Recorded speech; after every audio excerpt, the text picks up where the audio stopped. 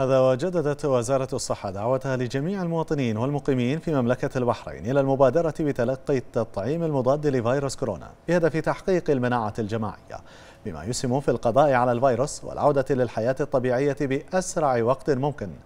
يأتي هذا فيما أعلنت وزارة الصحة أن عدد من تلقى الجرعة الأولى من التطعيم قد بلغ حتى مساء أمس 530,415 شخصا.